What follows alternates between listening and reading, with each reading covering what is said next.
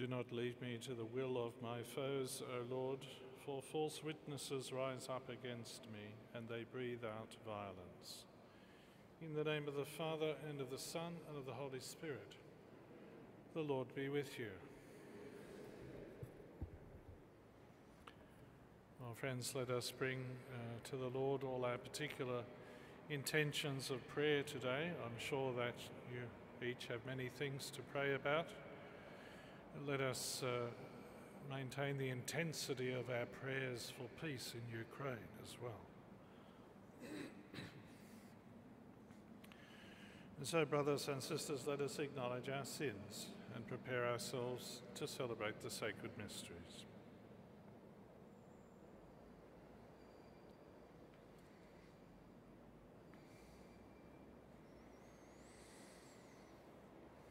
You were sent to heal the contrite of heart. Lord, have mercy.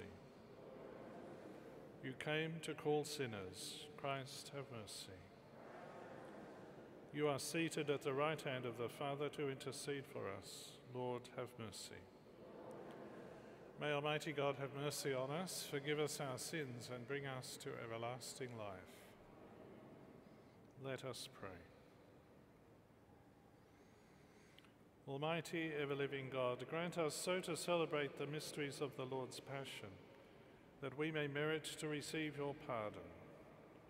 Through our Lord Jesus Christ, your Son, who lives and reigns with you in the unity of the Holy Spirit, God forever and ever.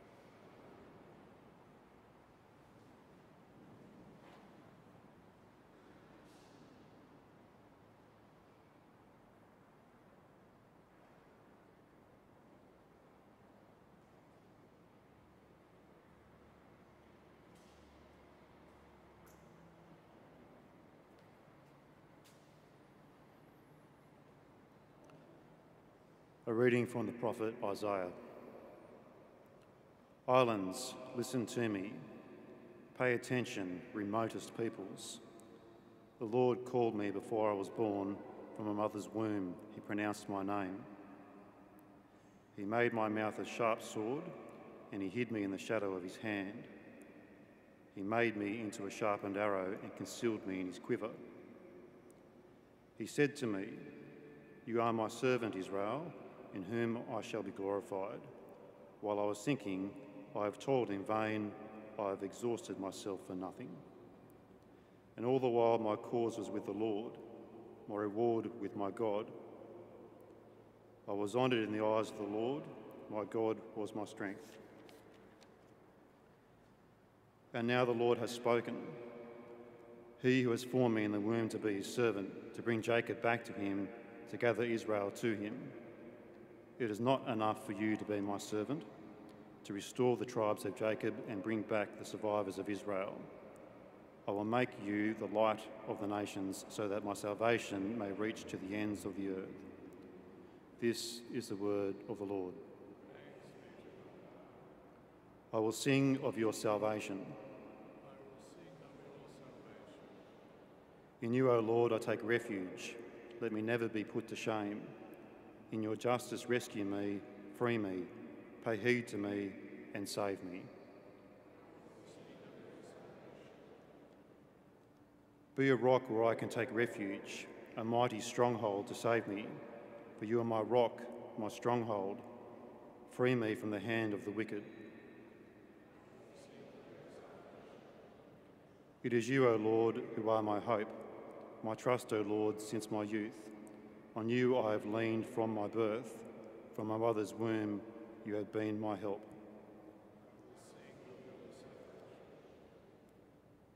My lips will tell of your justice, and day by day of your help, though I can never tell it all.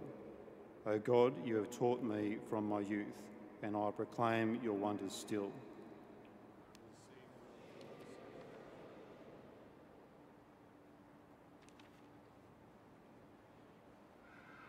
Glory and praise to you, Lord Jesus Christ. Hail to our King, obedient to his Father. He went to his crucifixion like a gentle lamb. Glory and praise to you, Lord Jesus Christ.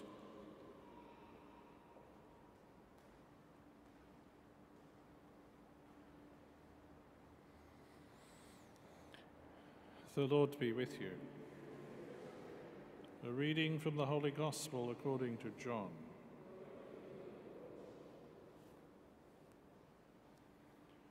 While at supper with his disciples, Jesus was troubled in spirit and declared, I tell you most solemnly, one of you will betray me.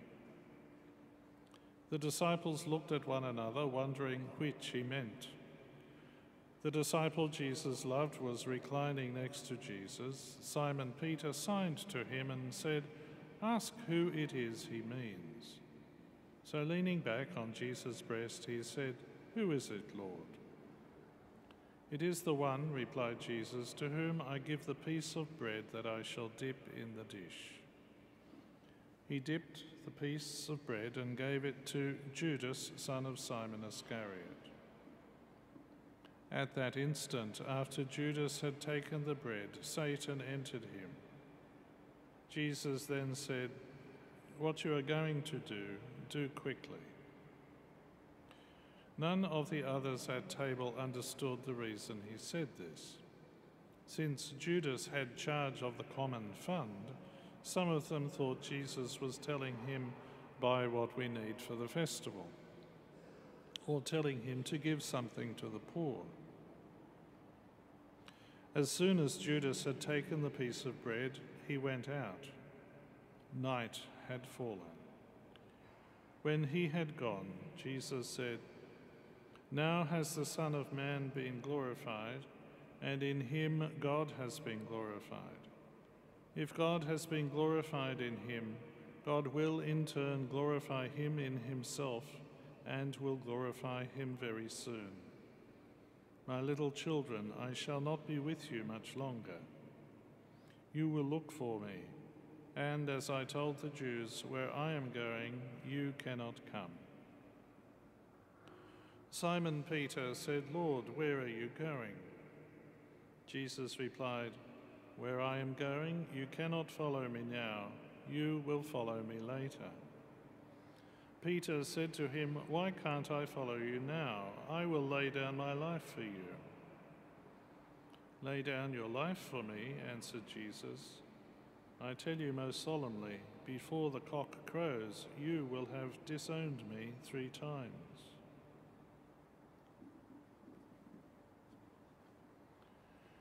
The Gospel of the Lord.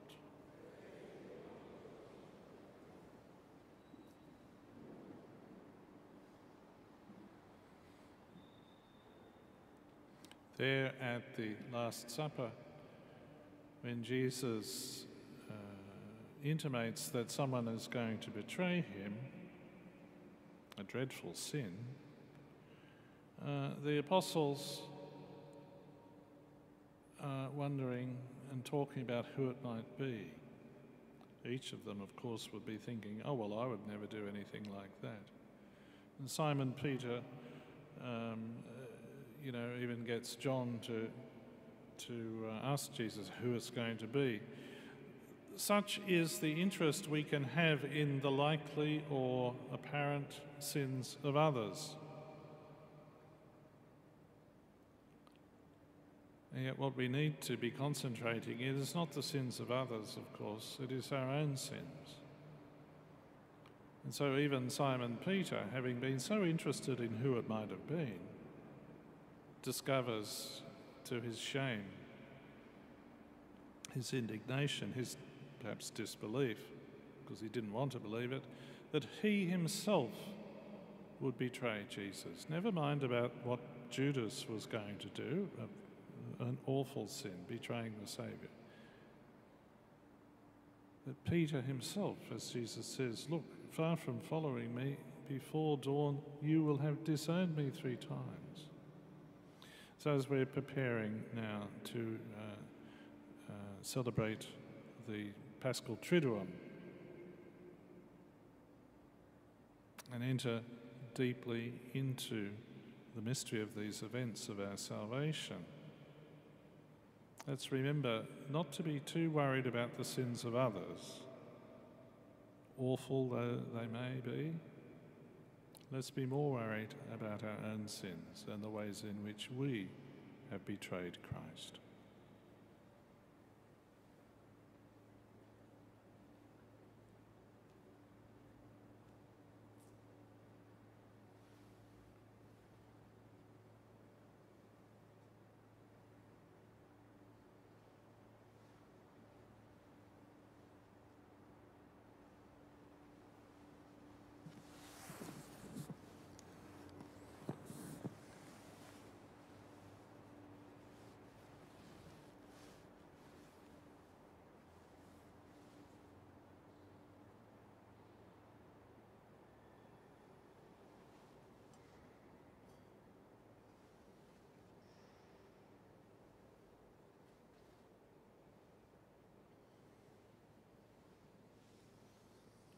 Blessed are you, Lord God of all creation, for through your goodness we have received the bread we offer you, fruit of the earth and work of human hands. It will become for us the bread of life.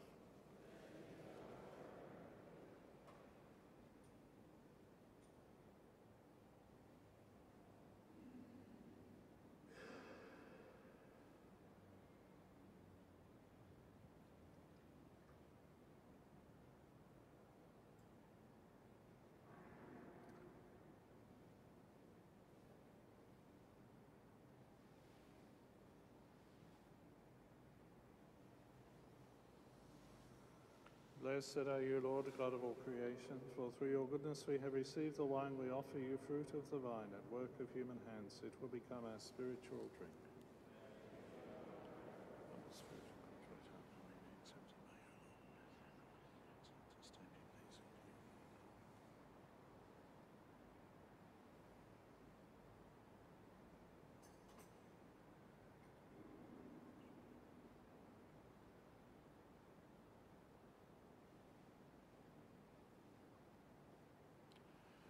Pray, brothers and sisters, that my sacrifice and yours may be acceptable to God the Almighty Father.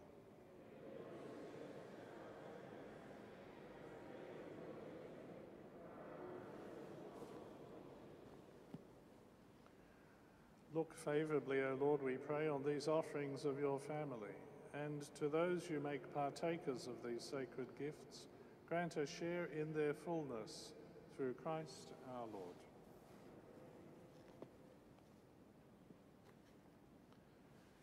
The Lord be with you. Lift up your hearts. Let us give thanks to the Lord our God. It is truly right and just, our duty and our salvation, always and everywhere to give you thanks, Lord, Holy Father, Almighty and eternal God, through Christ our Lord. For the days of his saving passion and glorious resurrection are approaching, by which the pride of the ancient foe is vanquished and the mystery of our redemption in Christ is celebrated. Through him, the host of angels adores your majesty and rejoices in your presence forever. May our voices, we pray, join with theirs in one chorus of exultant praise as we acclaim, Holy, holy, holy, Lord God of hosts, heaven and earth are full of your glory. Hosanna in the highest. Blessed is he who comes in the name of the Lord. Hosanna in the highest.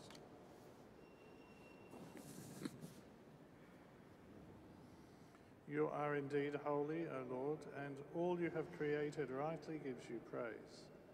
For through your Son, our Lord Jesus Christ, by the power and working of the Holy Spirit, you give life to all things and make them holy, and you never cease to gather a people to yourself so that from the rising of the sun to its setting, a pure sacrifice may be offered to your name.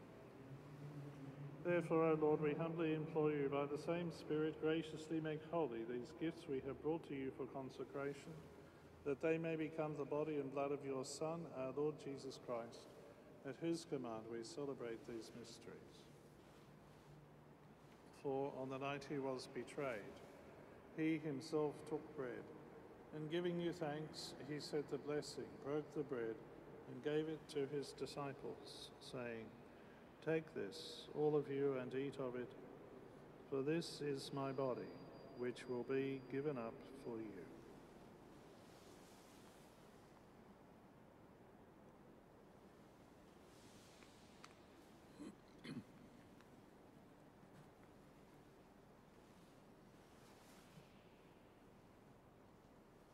In a similar way, when supper was ended, he took the chalice, and giving you thanks, he said the blessing, and gave the chalice to his disciples, saying, Take this, all of you, and drink from it. For this is the chalice of my blood, the blood of the new and eternal covenant, which will be poured out for you and for many for the forgiveness of sins. Do this in memory of me.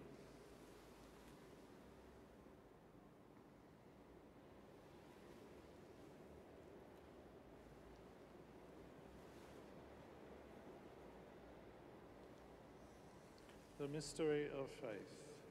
We proclaim your death, O Lord, and profess your resurrection until you come again. Therefore, O Lord, as we celebrate the memorial of the saving passion of your Son, his wondrous resurrection and ascension into heaven, and as we look forward to his second coming, we offer you in thanksgiving this holy and living sacrifice. Look, we pray upon the oblation of your church, and recognizing the sacrificial victim by whose death you willed to reconcile us to yourself, grant that we who are nourished by the body and blood of your Son and filled with his Holy Spirit, may become one body, one spirit in Christ. May he make of us an eternal offering to you so that we may obtain an inheritance with your elect, especially with the most blessed Virgin Mary, Mother of God, with blessed Joseph, her spouse, with your blessed apostles and glorious martyrs, and with all the saints on whose constant intercession in your presence we rely for unfailing help. May this sacrifice of our reconciliation, we pray, O Lord, advance the peace and salvation of all the world. Be pleased to confirm in faith and charity your pilgrim church on earth with your servant Francis, our Pope, and Anthony, our Bishop, the order of bishops, all the clergy, and the entire people you have gained for your own. Listen graciously to the prayers of this family whom you have summoned before you. In your compassion, O merciful Father, gather to yourself all your children scattered throughout the world. To our departed brothers and sisters, and to all who are pleasing to you at their passing from this life, give kind admittance to your kingdom. There we hope to enjoy forever the fullness of your glory through Christ our Lord, through whom you bestow on the world all that is good through him and with him and in him, O God Almighty Father, in the unity of the Holy Spirit, all glory and honor is yours forever and ever.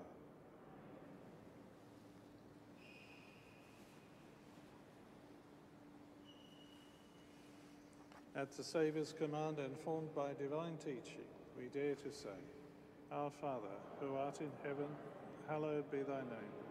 Thy kingdom come, thy will be done on earth as it is in heaven. Give us this day our daily bread, and forgive us our trespasses, as we forgive those who trespass against us. And lead us not into temptation, but deliver us from evil. Deliver us, Lord, we pray, from every evil. Graciously grant peace in our days, that by the help of your mercy we may be always free from sin and safe from all distress, as we await the blessed hope and the coming of our Saviour, Jesus Christ.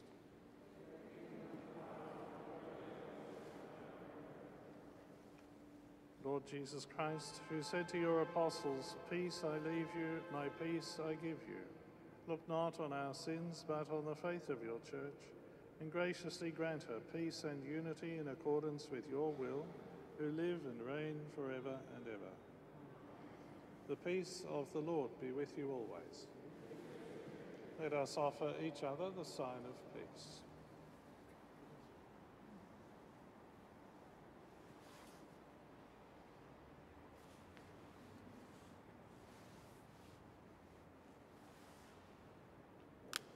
Lamb of God, you take away the sins of the world, have mercy on us. Lamb of God, you take away the sins of the world, have mercy on us. Lamb of God, you take away the sins of the world, grant us peace.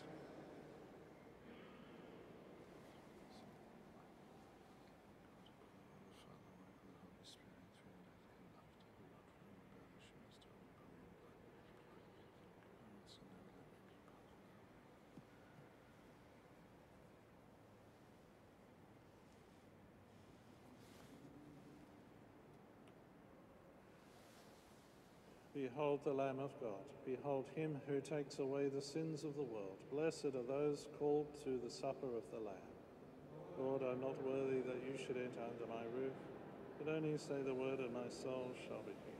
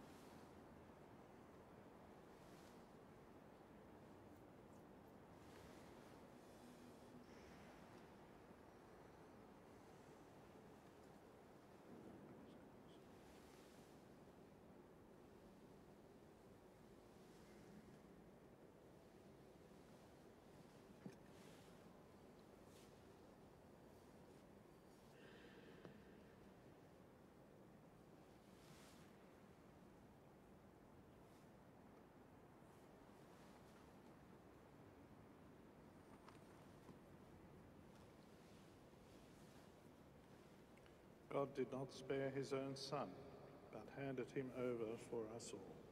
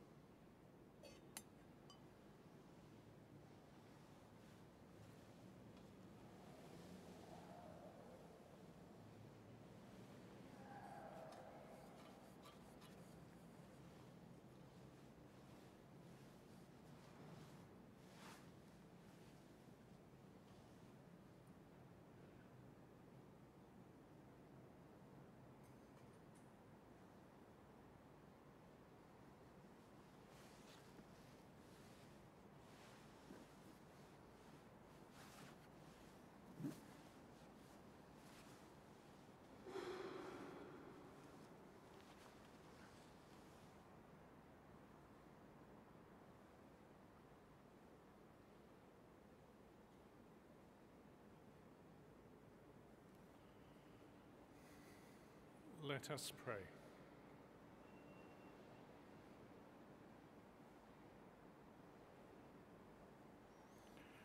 Nourished by your saving gifts, we beseech your mercy, Lord, that by this same sacrament with which you have fed us in the present age, you may make us partakers of life eternal. Through Christ our Lord.